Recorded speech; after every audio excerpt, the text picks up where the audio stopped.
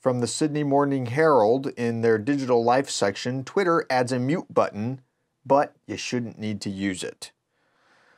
You can mute your television, you can mute Gmail threads, and now you can mute Twitter accounts if you don't want to see their activity. These three points define a spectrum of muting that moves from logical to bizarre. Muting your TV speakers, YouTube videos, and so on makes sense.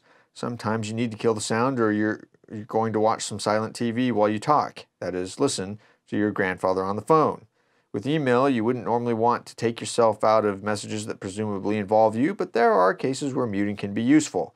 For example, if you're part of a planning thread for a camping trip that you can't attend, you don't really need to have the back and forth about who's bringing marshmallows. However, if you don't want to read their tweets, don't follow them.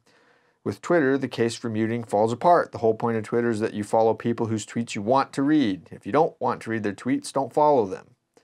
And that's kind of the crux of the article here. It's a pretty good read. Check it out.